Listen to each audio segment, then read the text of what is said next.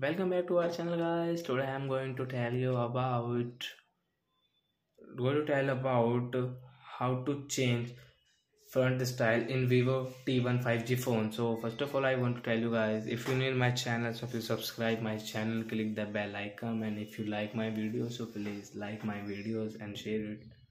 Okay that's on the topic. First of all you will have to on setting. Click here scroll it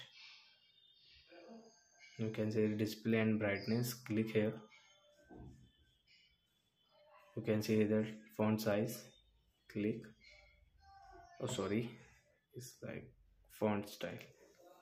So there is two types of font style. First is default and second is classic font. So i have default and now i'm going to change my font style. So just click here. You can see there there is option will come you will have to click here apply. It will take 4 and 5 second.